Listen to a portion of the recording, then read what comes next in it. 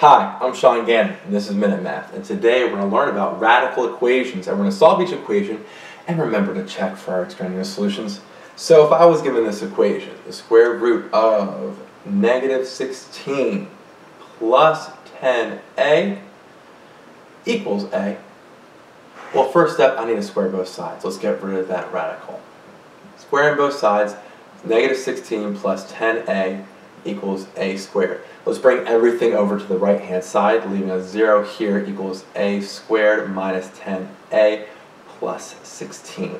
Okay, so now we think to ourselves here what two numbers multiplied to 16 add to be negative 10, and that ends up being, right, ends up being negative 8 and negative 2, right?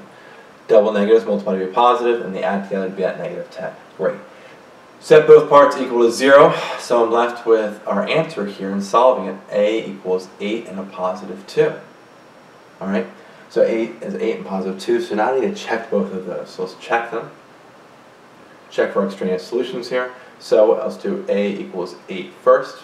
Okay, I have my square root, negative 16 plus 10 times a equals a.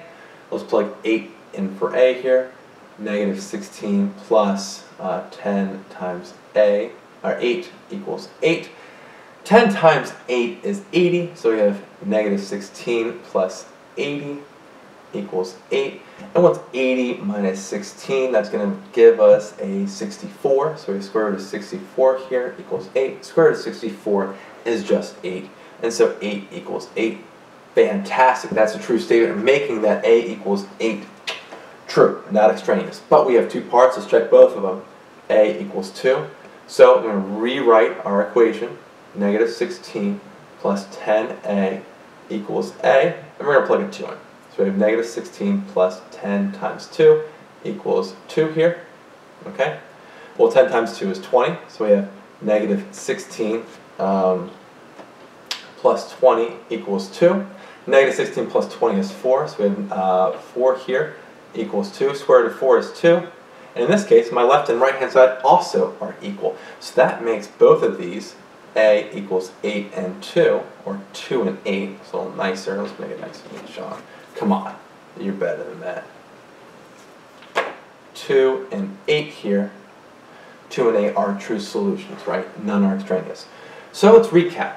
We are given our equation, we squared both sides to get rid of the radical, brought everything on one side to have a quadratic, and we factored it. After we factored it, we set both parts equal to 0 and got a equals 8 and a equals 2. That's our two possible solutions, right? We had to check them, see if any are extraneous. Plugged 8 in, simplified. As we simplified it, left, uh, simplified it, simplified, left and right hand side were equal, both being 8. So confirm that a equals 8 here since we're equal. True solution. Let's try the other one a equals 2n, plugged it back into my original equation. Be careful not to do the squares either, it's the original equation. Okay, the square root of negative 16 plus 10a equals a.